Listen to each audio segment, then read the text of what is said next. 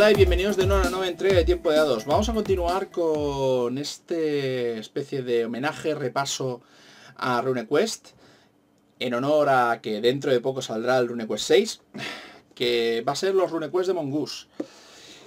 Eh, tanto el, el primer RuneQuest como el RuneQuest 2 y hablando del RuneQuest 2, el RuneQuest 2 es lo mismo que Legend. Si habéis visto por ahí un libro que se llama Legend, es el RuneQuest 2 sin licencia.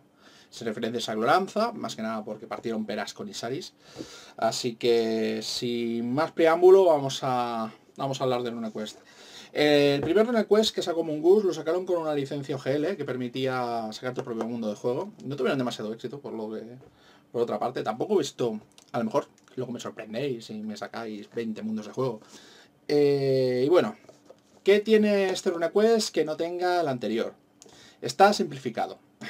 O sea, realmente lo que tiene es todo lo que es el sistema de habilidades, todo lo que es el sistema de características y todo el sistema de combate.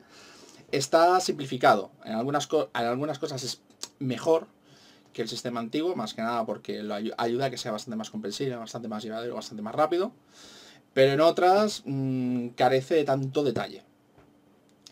Eh, las características son prácticamente iguales, evidentemente se mantiene todo el tema de que es mm, bastante más completo a la hora de llevar manos. Está bastante más estratificado en lo que serían las culturas.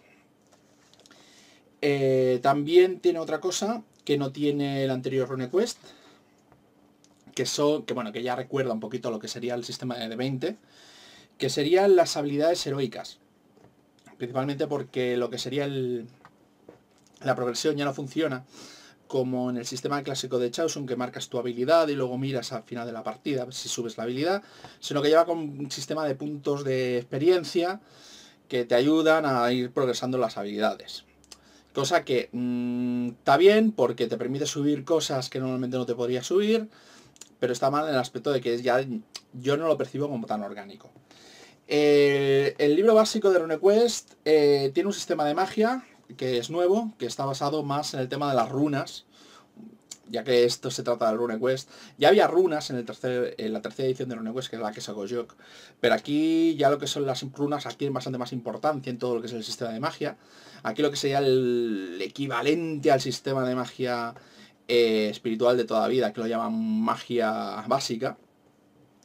Y está bastante basado, principalmente porque te puedes asociar a una runa, entonces la runa te da habilidades especiales. Pero bueno, aquí tenés un, lo que sería un bestiario bastante básico. Eh, aparte de este sistema de magia que he comentado, no tiene mucho más. Y bueno, mm, como libro básico, teniendo en cuenta que RuneQuest lleva tiempo desaparecido en el mercado, esto es del 2006, no está mal, yo me lo pillé como una especie de alternativa, que estaba buscando sistemas para eh, utilizar Midnight. Y bueno, esto se me presentó y la verdad es que no estaba mal, aunque el sistema de magia no me acababa mucho de convencer. Pero bueno, eh, vamos a hablar de los suplementos. A ver, de suplementos yo tengo unos cuantos.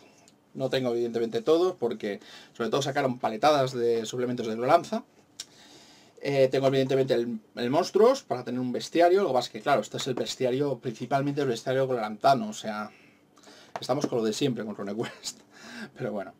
Eh, el héroes legendarios, que sería para llevar héroes épicos, a una cosa que no había comentado acerca de las habilidades legendarias. Son como una especie de dotes, pero te permiten hacer cosas, a maniobras especiales, eh, cositas con respecto a, a darle un poquito más de chicha a lo que serían los personajes. Más que nada porque hay mucha gente que piensa que a lo mejor un tipo de personaje que tenga simplemente características y habilidades es demasiado soso.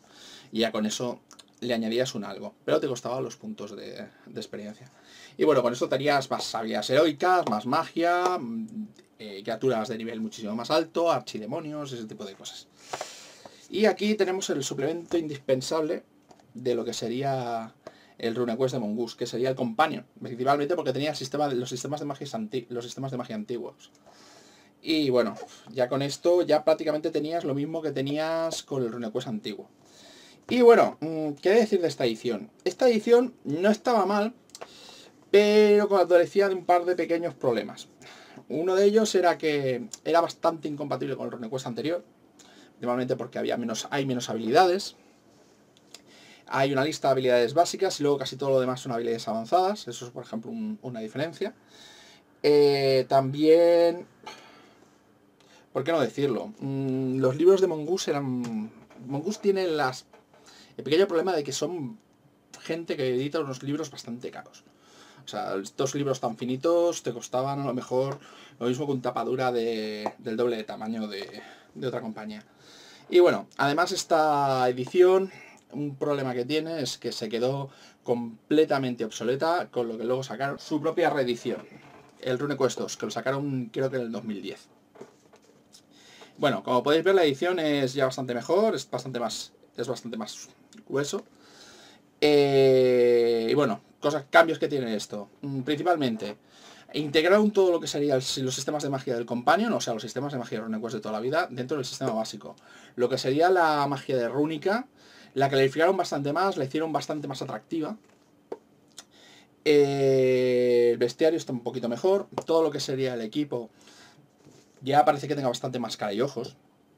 Me refiero a que integraron cosas en cada aspecto del equipo para darle un poquito más de chicha, cosas de, ir metiendo detallejos que recuerdan un poquito de 20, cosa que a lo mejor a la gente le disgusta, pero francamente, el hecho que te puedas mirar el apartado de equipo y verlo, ostras, es bastante interesante, mm, es algo bastante nuevo dentro de lo que sería dentro de lo que sería este tipo de juegos. Más que nada decir, bueno, una cuerda es capaz de soportar tanta tensión, no te da pluses a la hora de trepar, ya te viene con las reglas más o menos integradas dentro de lo que, dentro de lo que sería cada pieza de equipo. Yo la verdad es que a mí me gustó bastante. La verdad es que sí. Todo lo que sería la magia común, todo lo de los cultos está bastante mejor definido aquí. Ya por lo menos está más clarificado, te lo, te lo crees un poquito más.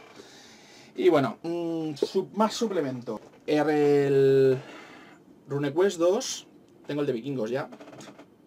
Que bueno, esto lo que hace es que te habla acerca de los vikingos puros y duros. O sea, si tenéis el de RuneQuest 3, eh, este es lo mismo. El RuneQuest 3 edición, perdón. Y bueno, eh, han ido sacando libros de, de distintos tipos de magia. Esto es de las artes negrománticas. Y un un libro de gestión de imperios. La verdad es que hay que decir una cosa. Mm, si tenéis los libros de Legend, el, Legend es bastante mejor que... Si vais a ir a por este sistema y no os vais a esperar al RuneQuest 6, que está a la vuelta de la esquina, y que ya han prometido que mm, va a ser como una especie de evolución de este sistema, eh, la verdad es que Legend está bastante barato. De hecho, el libro básico creo que cuesta un euro. Todo lo que sería el RuneQuest 2 que habéis visto a precio de un euro, yo creo que está bastante bien. Eh, no tengo el bestiario de este libro, La Era de la Traición, que es una especie de mm, libro de... Bueno, es una especie de era... Yo no estaría a punto de decir una era iboria, porque sería más bien una era de la antigüedad, con magia bastante más de espada y brujería que no alta fantasía heroica. Que la verdad no está mal. Algún día de estos hablaré de ello. Uno de los grandes atractivos, una de las cosas que me hizo comprarme el RuneQuest también de los libros basados en licencias de Morcock. El Hawkmoon, el juego de rol, no confundir con el Hawkmoon de Chaosium, que estaba así, que era más que nada un Stonebringer basado en el, en el mundo del milenio trágico. Este es para el primer RuneQuest de Mongoose. Y este es el Elric de Belnimoné, que como podéis ver aquí tenemos a un Elric de Belnimoné mazao, que no le pega ni con cola, que es la versión eh, de para RuneQuest 2. Y que bueno, tiene cosas muy buenas. Tiene cosas muy, este libro tiene cosas muy buenas, otras cosas que serían un poco discutibles. Pero mm, en cuanto a ambientación, en cuanto a reglas, se parece bastante a las ediciones antiguas de Stonebringer. Me estoy refiriendo evidentemente a la Stonebringer primera y segunda edición. Aquí los demonios ya van directamente por categorías, de tipos de demonios, demonio de combate, demonio de deseo. Eh, todo lo que sean los dioses del caos y los de la ley están mucho mejor detallados. Mm, la verdad es que un día de estos tengo que hablar de esto con detenimiento, pero hoy no toca. Y bueno, esta ha sido RuneQuest 1 y 2. La verdad es que está bastante bien. Lo que pasa es que actualmente no recomendaría la compra. Principalmente porque, A, ah, eh, ya tiene, ya tiene Legend, cosa que podéis conseguir de una manera bastante barata, bastante asequible. Y, eh, y, además el Legend es compatible con el RuneQuest 2, o sea que si queréis pillaros el Elric de Mongoose, os podéis pillar el, el Legend sin ningún problema. El Legend lo único que pasa es que han quitado las referencias ancianas porque ya no tienen licencia de Saris.